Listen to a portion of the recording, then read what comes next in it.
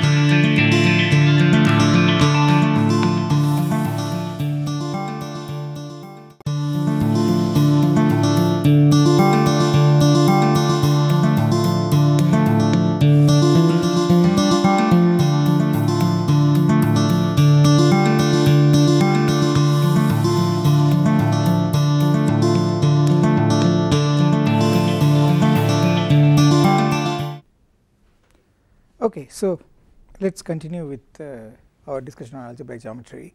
So you know, uh, so let me recall uh, what we have uh, seen until last until the last time.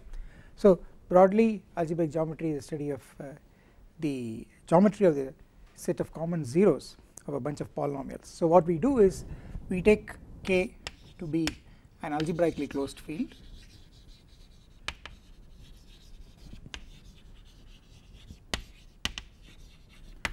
and of course uh, uh, what is the significance of, of this is well um, uh, the significance is that you have uh, uh, the Nullstellensatz which tells you that uh, zeros of common zeros of a bunch of polynomials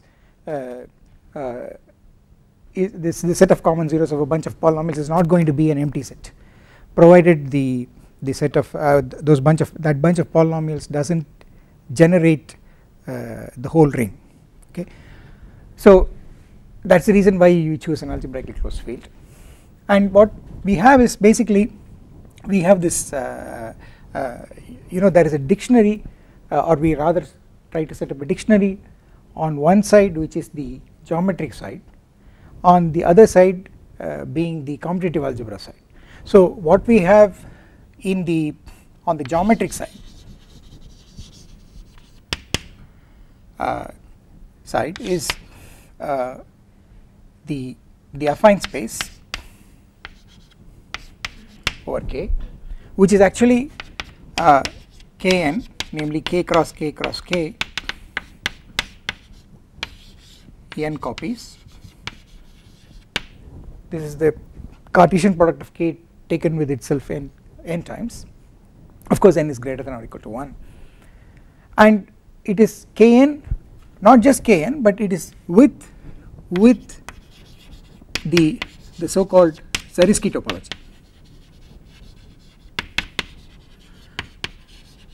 So well if you just look at kn uh, you would normally think of it as n dimensional vector space over k okay? But the point is uh, and and and in a vector space 0 is a very special vector okay? But we want we do not want to think of it as a vector space. We want to think of it as affine space. So 0 does not have the point 0 does not have any special uh, meaning. Uh, in the case of vectors it does have a special meaning because uh, vector uh, always needs an initial point and a terminal point and we always take the initial point to be the, the origin okay? But here in affine space any two points are literally the same except that only the coordinates have changed okay. So but more importantly what is uh, the, what we have is not just a set it is not just the Cartesian product. Uh, this Cartesian product base is it consists of n tuples of elements of k okay? It is not just the Cartesian product as I said but there is a so called what is that Zariski topology? It comes from the it rather comes from the algebra side. So let me put that on this side this is the commutative algebra side.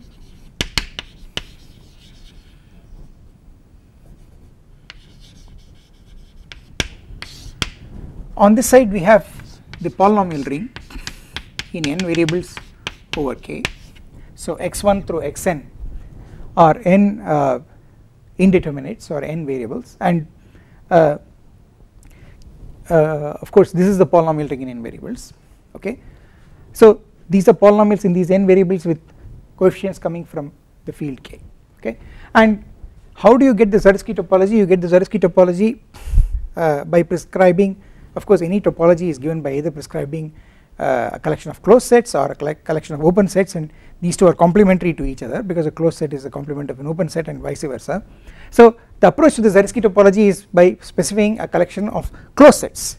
And how do you specify this collection of closed sets? What you do is well you take any subset of, uh, of this polynomial ring which means you are just taking a bunch of polynomials in n variables with k coefficients and what you do is associate to that subset the set of zeros of uh, the set of common zeros of that subset. So this set this subset here will be all those n tuples uh, which satisfy each and every polynomial in this collection in this subset okay? And we we declare sets like this to be the closed sets. So they are given a name they are called algebraic sets because they are the they are the common zero locus of a bunch of algebraic equations okay? The solutions to a bunch of algebraic equations. You can think of uh, the the equation corresponding to each polynomial as a polynomial being equated to 0 and then the solutions are nothing but the zeros of the polynomial okay so the algebraic sets are sets like this and they are uh, if you declare them as closed sets then you see that they satisfy the axioms for closed sets. And therefore uh, these uh, sets of uh, subsets of this kind uh, taken as closed sets does define a topology on on these on the set Kn. And along with this topology we call Kn as the affine space n dimensional affine space over K. We give this special symbol uh, and uh, we call this topology Zariski topology okay? In honor of uh, Oskar Zariski who is whom you could say is a founding uh, father of algebraic geometry uh, from the from the viewpoint of commutative algebra okay? So and then I told you that um, uh, the so yeah so there there was a there was a uh, so on this side we have a collection of nice sets namely the algebraic sets which are the closed sets. But on this side you seem to only have subsets of the uh, of the of the polynomial ring. But then uh, a subset uh, does not make sense as a sub object of the polynomial ring and the right sub objects are ideals okay and of course these everything here is commutative. The k is of course a, always a commutative field. We are in this course we are only worried about commutative rings.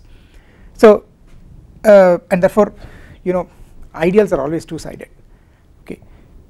So the point is you if you want the right objects on this side uh, more interesting than the subsets are the ideals. And how do you pass from subset to an ideal?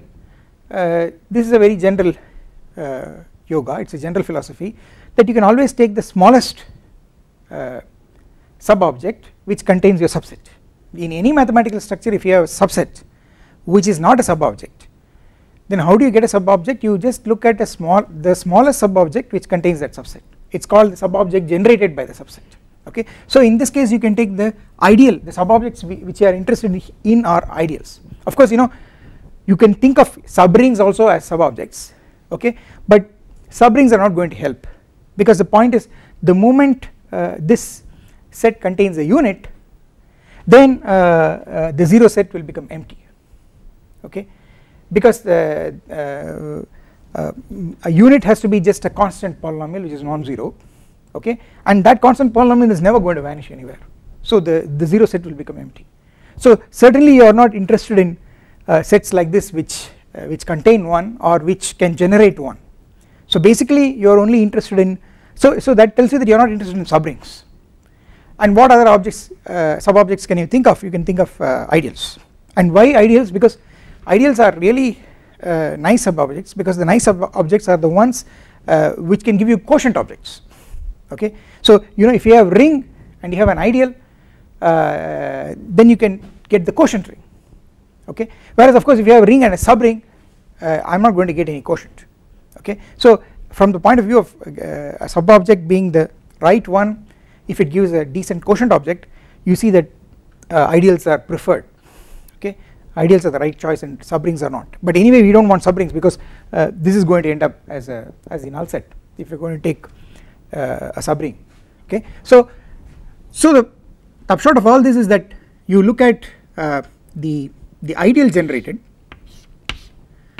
uh, by this uh, by this subset which I put as bracket s.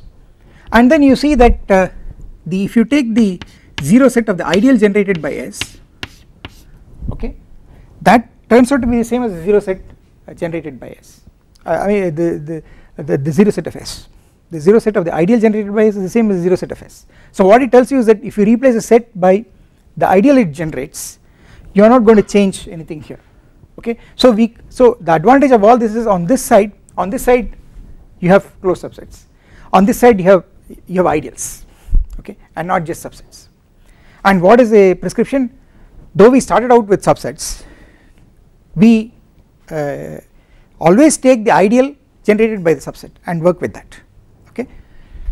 And uh, that does not change anything on this side. Okay? Because of this equality. Now uh, so as I told you the the um, you know uh, the whole purpose of algebraic geometry is to look at this uh, these two sides of the picture okay and go from one side to the other and keep translating what properties on one side mean on the other side. So geometric properties on this side should mean uh, they should give rise to some ring theoretic properties which means they will give rise to some ideal theoretic properties. More, more generally they might give rise to module theoretic properties on this side. And conversely some uh, module theoretic or ideal theoretic properties or ring theoretic properties on this side will correspond to geometric properties on this side. And and our and the aim of algebraic geometry is to is to discover this relationship. Okay? Um, so uh, so the first thing I wanted to say is uh, you know uh, well but, there, there, are two points I have to mention. So the first point is uh, so let me again recall. Uh, you know an algebraically closed field is a field in which if you take a polynomial of one variable in uh, in one variable over that field and if it is non-constant then all its zeros are there in that field. Okay so normally field theory tells you that if you have a polynomial over a field then you may have to go to an extension field to find the zeros of the polynomial okay? And in fact a field theory gives you what is called as a, splitting field for a given polynomial which is a kind of uh, a smallest field extension over which the polynomial completely splits into linear factors. But you know you do not have to worry about such things uh, I mean if you are working with an algebraically closed field. Because the definition of algebraically closed field tells you that if you have a polynomial it will already split into linear factors. That means all the which is equivalent to saying that all the zeros of the polynomial are already elements of this field okay? But the story does not end there. This the, the, the, the important thing is the when you define algebraically closed field it is only for one variable okay? But when we do algebraic geometry in this general sense we are worried about polynomials not in just one variable we are worried about polynomials in several variables. And then the question that arises is if you give me a you know a subset of polynomials or for that matter the ideal that it generates and look at the 0 set what is the condition that uh, the 0 set is non-empty? Okay? And uh, the Hilbert Nullstellensatz uh, tells you that uh, uh, this will be non-empty so long as this ideal is really a proper ideal. So long as this ideal is not the whole ring or the unit ideal. Okay so in other words this should not contain a unit. We, we all know that if it contains a unit if S contains a unit it is very clear that this is empty. Okay? And the Hilbert Nullstellensatz tells you that that is the only case when it is empty. So long as this does not contain a unit and of course it is very important that uh, you know uh, uh, well I should correct my statement a little. Uh, this may not contain a unit but this might generate a unit. Okay? So to be very strict this ideal should not be uh, this ideal should not contain a unit which is the same as saying this ideal should not be the whole ring okay? In that case and then and only then will the 0 set uh, uh, be non-empty okay? And that assurance is given to you by the Hilbert Nullstellensatz okay? That is one important thing. Then the other thing is uh, the other important theorem that comes uh, uh, uh, is the the Hilbert's basis theorem or Emmy-Noether theorem okay? So you see you already see the impact of results on this side which means something on this side. You see the the fact that uh, the Hilbert's Nullstellensatz sats is basically a result which comes from this side of the diagram okay? If you want to if you want to think of commutative algebra also as involving field theory for that matter because you know fields come uh, because uh, you know you start with a ring uh, basically you start with uh, rings which are integral domains and then if you go to the quotient field or the field of fractions then you know studying things over that already leads you into uh, field theory okay? And so you know Nullstellensatz is a kind of result that you know uh, comes in on this side of the picture. But geometrically it means that uh, you know the zero set you are working with uh, gives you conditions when the zero set you are working with is not empty okay? That's a, that's already a uh, that's also that's already a translation from a result on this side to this side okay? And uh, but the way I have given it I have already given it on this side. Okay? I, I haven't I haven't told you the commutative algebraic version of the Nullstellensatz which I will do. Okay? And the, the, the other statement that I am worried about is uh, uh, that I want to uh, talk about is about the uh, uh, the Hilbert basis theorem or the Emmy-Noether theorem. Uh, what, what does it say? It says well it says that if you start with a ring R a commutative ring of course you know you must always remember that we always work only with commutative rings with 1 and we always assume that all ring homomorphisms take 1 to 1 okay? So if you start with a noetherian commutative ring okay uh, which means ring is which means that the ring satisfies the property that every ideal is finitely generated. Then if you take a polynomial ring in finitely many variables over that ring the polynomial ring also becomes noetherian okay? So if you take for the ring a field you know a field is always noetherian because it has only two ideals. Namely the 0 ideal and the full field which is the unit ideal. So it is noetherian and uh, now if you apply, apply Hilbert's um, basis theorem or Emmy-Noether's theorem you get that this ring is noetherian what it means is therefore that every ideal is finitely generated. Okay? Now what is the importance of saying that an ideal is finitely generated? The importance is that every element Uh, in this ideal can be written as a finite linear combination of a fixed number of elements with ring coefficients. That is what it means. But what it really means is that you can take for this generating set only a finite set of polynomials. And what it means therefore is even though you start with a set which is probably infinite okay or you start with an ideal which is infinite okay? Uh, in fact um, an ideal will be infinite because uh, even if it has one elements uh, one element then it will contain all multiples of that element by the ring elements. And this is going to this is an there are infinitely many elements here because k is uh, any algebraically closed field is infinite. That is a result from field theory okay? And uh, this polynomial ring is also infinite.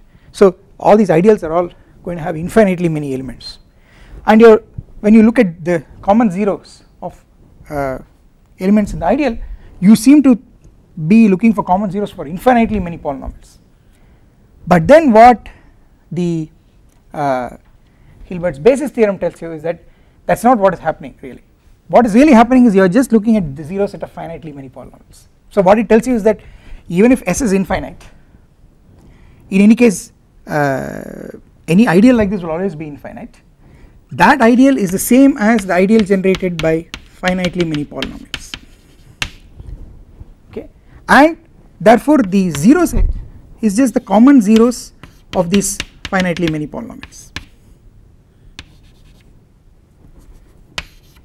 And, and in fact this is a set uh, this is the same as the intersection of the 0 sets of the individual polynomials z of fi is just the uh, 0 the zeros of fi okay? And then if you if you take the intersection you will get the points which are zeros of all the fi's which is exactly what this means. This, this, this is the set of common zeros of all the fi's and of course uh, this tells you that uh, you are always only going to solve finitely many equations okay?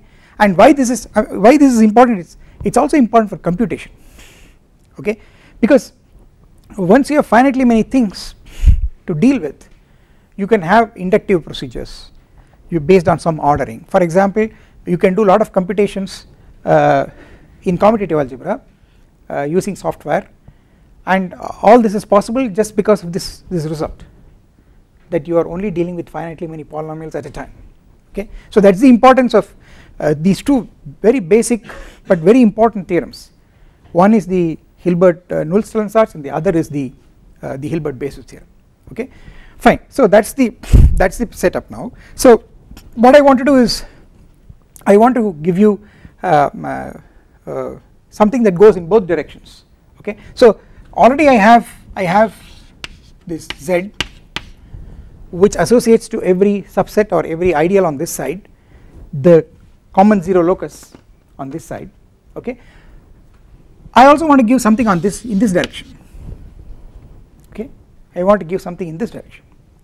So uh, so when I go from this direction uh, so from how do I go from here to there? So you know if so let T uh, be a subset of an okay? And mind you this is just a subset. Is just some collection of points. Okay I am not requiring that it is closed or open or something like that. I am just taking any subset. And what I do is from here I associate it I associate to T I of T which is called the ideal of T. Okay? This is the ideal of T. Okay? And what is the ideal of T? This is a set of all polynomials in the in the polynomial ring such that f of uh, uh, f of uh, okay so let me write it like this. F of t equal to 0 for every t in small in capital T. Okay? This is called the ideal of a subset. Okay? So there are, there are two statements I want I want you to understand. First thing is I am defining a set and I am calling it an ideal. Okay? In general that is not correct I can define a set then I have to verify it is an ideal okay? So the fact is that but if that if you really look at this definition it is obvious that it is an ideal. Because you see if you take two such f's say f1 and f2 then if f1 and f2 both vanish at every point of t then so does the sum okay? And of course 0 vanishes at every point of t so 0 is there. So this closed under addition this has 0 and of course for that matter if van if f vanishes at every point of t so does minus f okay? And also if f vanishes at uh, every point of capital T then multiplying f by a g will also vanish at every point of capital T. So this is an ideal. So it is in fact an ideal. And this is called the ideal corresponding to the subset okay? And so you see now we have uh, uh, so basically what is happening is that to a subset here we we associate a, uh, a set here which is actually closed. Okay it is an algebraic set. And in fact for an ideal here also we can associate a subset here which is actually closed. Okay and in this direction given a subset you associate an ideal. Okay so you can see more or less that uh, on this side you are worried about closed sets okay? And on this side you are worried about ideals okay? So let us explore uh, the properties of these two uh, these two um, associations. Many of them are quite uh, you know uh, quite straightforward. So the first thing is uh, uh, so let us look at the association in this direction okay that associates to every subset uh, the 0 set of that subset. So the the the fact I want to put is that this association uh, is actually inclusion reversing. Okay? On this see on both sides you have subsets. Only thing is here the special subsets that we are interested in are closed subsets. And here the subsets that we are interested in are ideals. Okay? But nevertheless inclusion makes sense on both sides as a, as a partial order okay? And what I want to say is that both of these associations they they just invert the they, they are not order preserving but they are order reversing okay? So what it means is that you know if s1 uh, so let me write that down as a lemma. It's pretty easy to see. If s1 is subset of s2 then well z of s1 uh, contains z of s2 uh, the second thing is uh,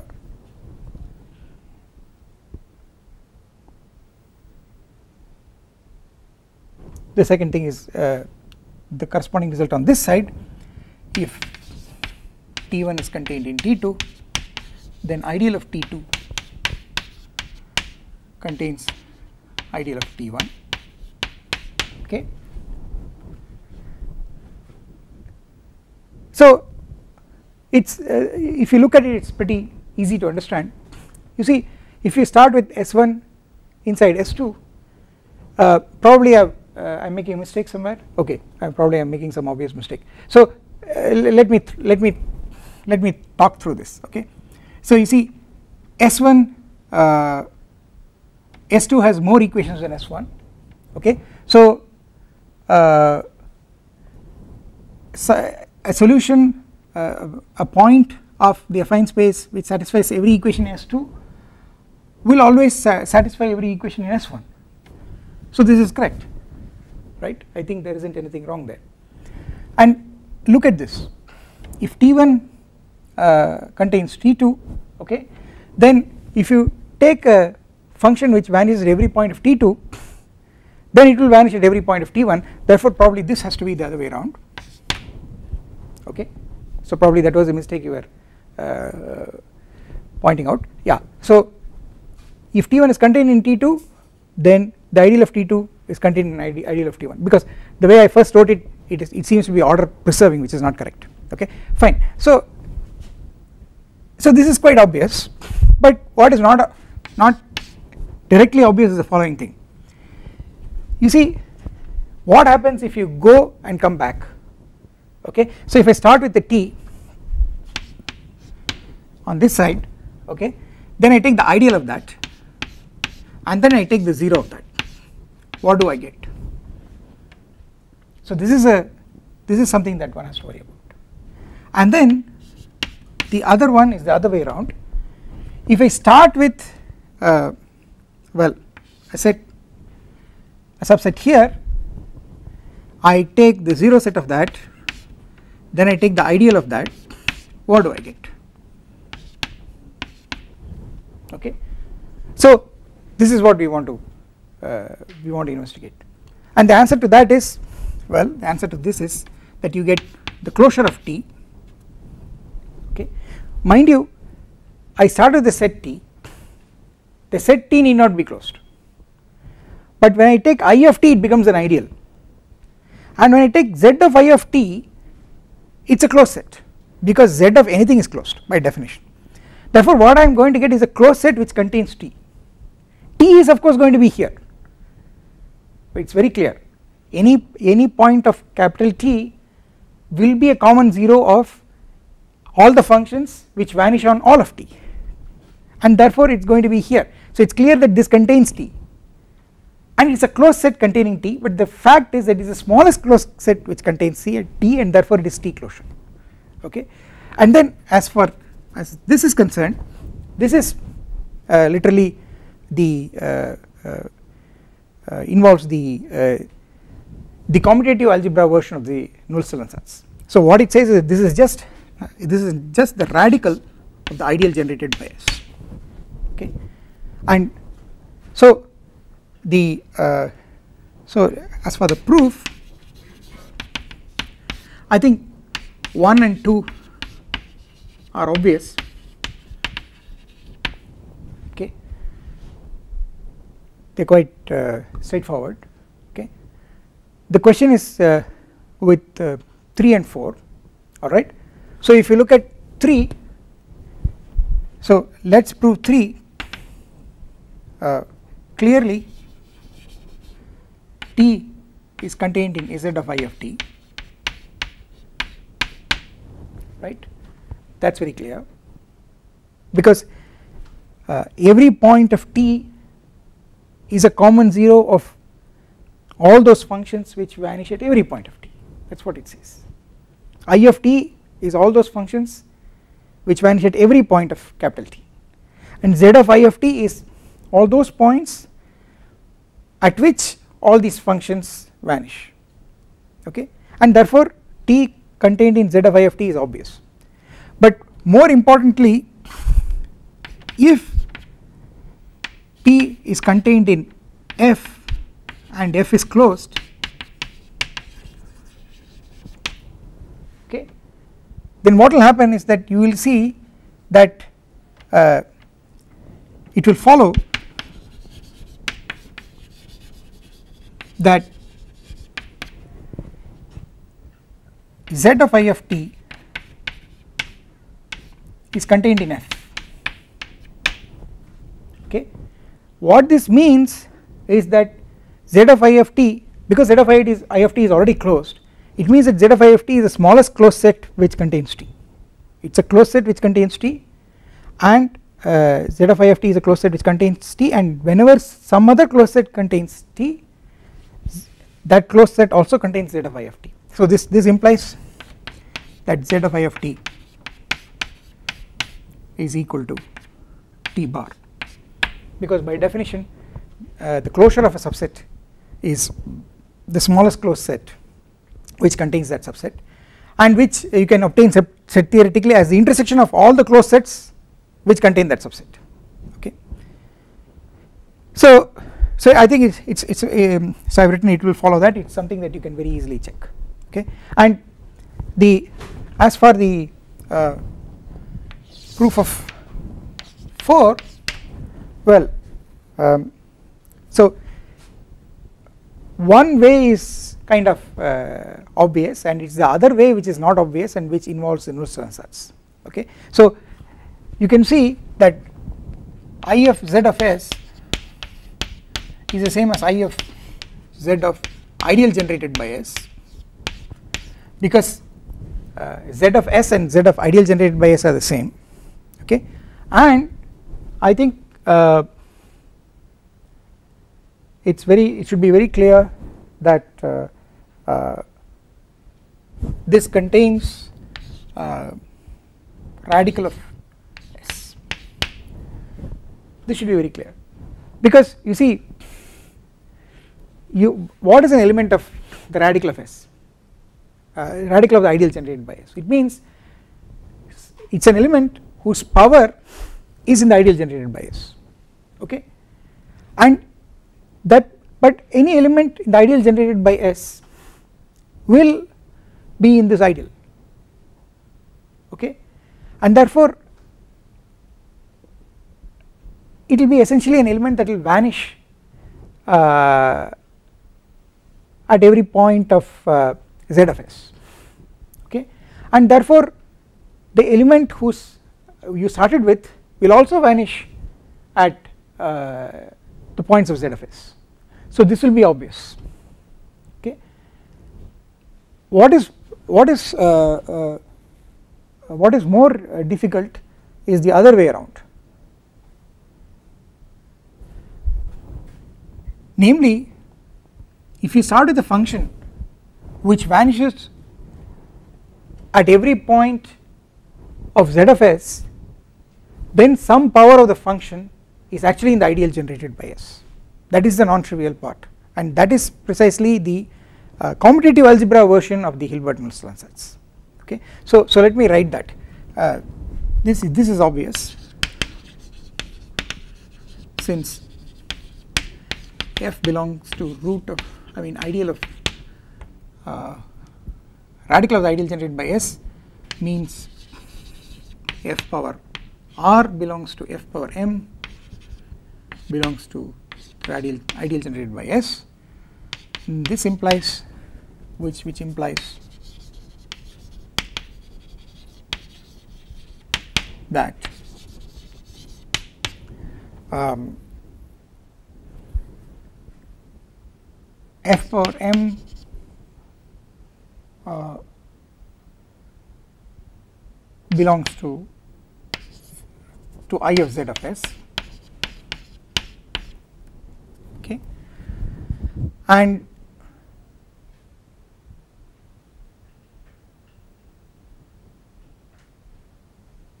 so in fact I should say uh, more importantly not only this what it means is that f power m belongs to okay so uh, f power m vanishes on on z of s okay which means f vanishes on z of s. Okay so so so this this means that uh, I mean this means that if you start with an f in the radical of the ideal generated by s it has to be in the ideal of z of s okay? So this is kind of uh, this is kind of obvious. What is not obvious is the following. Conversely uh, if f is an i of z of s that is f vanishes on z of s. Then f power m belongs to s for so let me add for some m greater than 0 due to the commutative algebraic version of the Hilbert Nullstellensatz okay? So uh, they so so what is a commutative algebraic version let me let me expand on that. So here is Hilbert's Nullstellensatz uh, so this is the this is what is called the strong form strong form commutative algebraic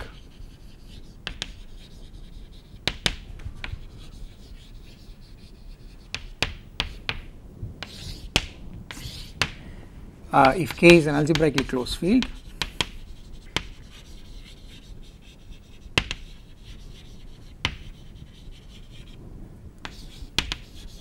and uh, I in K x1 etc xn is a proper ideal. Okay. Then the ideal of z of i is uh, contained in rad i. This is the uh, this is the commutative algebraic version in fact we often say it as i of z of i equal to rad i okay? But the fact that i of z of i contains rad i is something that is uh, obvious okay? But what is not obvious is that i of z of i is contained in rad i namely if there is a function which vanishes on z of i then some power of the function is in i. Because radical of an ideal is just all those elements some power of which some positive integral power of which is in the ideal. And you can check that that is a bigger ideal in fact okay? And what this says is that if a function vanishes on the 0 locus of an ideal then some power of the function has to be in the ideal which means that function has to be in the it may not be in the ideal but some power is in the ideal therefore the function is in the radical of the ideal. Okay? So if you think of the radical as uh, trying to expand the ideal by trying to take all possible nth roots of elements in the ideal. Okay? So this is the Hilbert Nullstellensatz this is the commutative algebraic form okay oh yeah. So uh, as as one of the students rightly points out uh, maybe uh, okay. So let me make the correction right from here. Let me call this let me use a script i okay for the for going from this direction to this direction. So I'll change this to script i okay so that uh, things become far better. So this changes to script i this changes to script type. And this changes to script type. so does this.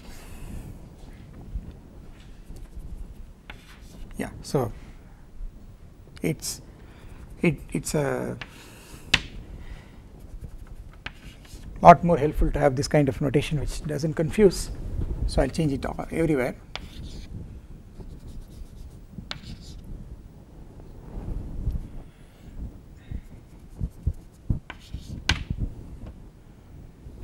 yeah of course the statement here that f power m is in the ideal generated by s uh, for some m greater than 0 is another way of saying that f is in the radical of the ideal generated by s which is what we want for the other for the other uh, inclusion okay? And here let me let me put script i here so that it it becomes better to read okay? And you know um, you see I I gave a so called weak form of the Hilbert Nullstellensatz okay? What was the weak form? The weak form was uh, the assurance that so long as an ideal is not the unit ideal the 0 set defined by the ideal is going to be non-empty. Okay? And that weak form can be deduced from this strong form as follows. If an ideal is not the unit ideal then that translates to the fact that the radical of the ideal is not also a unit ideal an ideal is a you can check that the ideal is a is a unit ideal an ideal is a unit ideal namely the whole ring. If and only if the radical of the ideal is also a unit ideal. The reason is because if uh, because of the fact that if a power of an element is a unit then that element itself has to be a unit. Okay?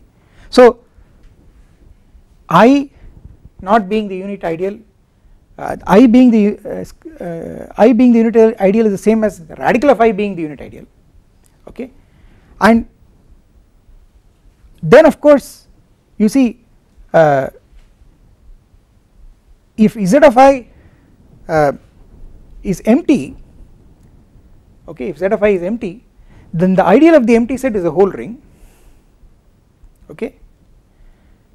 So if you assume that uh, i is not a unit not a unit ideal then you will get a contradiction from this if z of i is empty. So you should read it in fact uh, you should read it with equality. Okay? Because the other inclusion is obvious. So this strong form of the uh, uh, Hilbert Nullstellensatz does ensure that you know so long as I is not the unit ideal the the 0 set is non-empty. Okay? So that is how the strong form gives the so called weak form so what one needs to know is you know since you have two associations going in two directions you would like to make this uh, into you would like to see this as a bijective you know equivalence. And it is obvious that you will have to restrict the subsets here and the subsets there. And what we are going to do next is uh, is, is to, to, to go towards that. Okay? So the uh, uh, see the problem is on both sides the arrows are not injected. The associations are not injected. For example you know if I take uh, an ideal i and if I take the radical of the ideal i they both go to the same thing here. Okay so if I if I take i here uh, if I take i here which is contained in its radical every ideal is of course contained in its radical okay? Then both of these things they go to the same thing. The 0 sets are the same.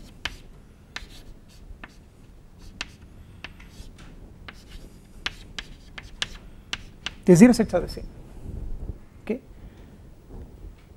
So you have two different things going to the same thing here okay. So to avoid this what you will expect is that on this side you should replace uh, ideals by radical ideals okay not just look at all ideals. First of all not look at all subsets. You pass from subsets to ideals and then do not just look at ideals look at radical ideals. Okay.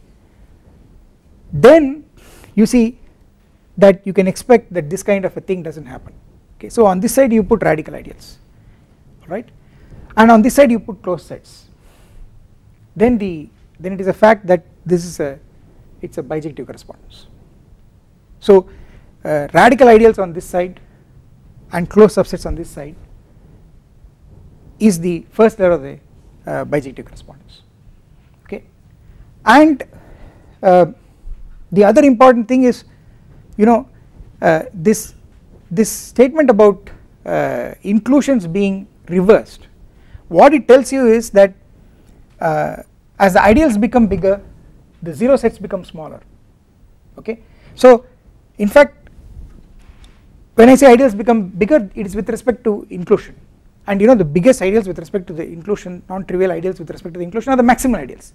So what you can imagine is that the biggest ones on this side are the maximal ideals. And they will correspond to the smallest sets on this side. And what do you expect them to be? They will be points. Okay? So what will happen is that the the biggest ideals here the maximal ideals they correspond to the smallest sets here which are the points and it is again uh, a corollary of the Hilbert Nullstellensatz sets and all all this machinery that we have built up that the set of points in the affine space can be simply identified with the set of maximal ideals in the uh, in this commutative ring. Okay? And uh, the beautiful thing is so therefore you know uh, you are able to see the set of points here which is geometric as again uh, a set of points there but these are not actually points here. You have to form another space called the maximal spectrum. The maximal spectrum of ring is a set which contains all the maximal ideals of the ring. And uh, the fact is if you take the maximal spectrum of this polynomial ring what you get back is affine space. Okay? But this is getting it back as a set the truth is it does not stop there. The truth is that on this maximal spectrum here there is a Zariski topology and if you take that Zariski topology and and give that topological structure to the maximal spectrum then that topological space becomes homeomorphic to this.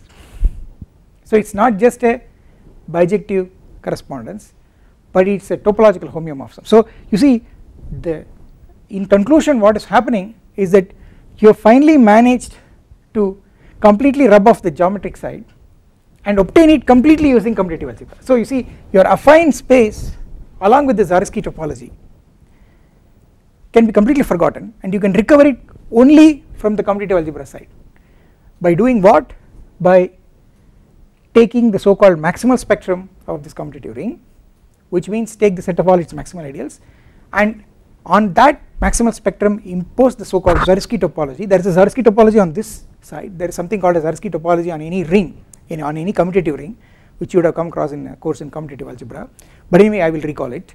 And if you the fact is if you put that topology on this on the maximal spectrum amazingly you get back your affine space. So the beauty you see the beauty of the dictionary is that I am able to see the affine space on this side without ever going to that side. So you see this is the kind of uh, you know uh, translation that one is able to do. And then there are there are there are many more uh, things that happen on this side that that can be seen here and vice versa. Okay so this discussion will will proceed in that direction. Okay so I will continue in the next lecture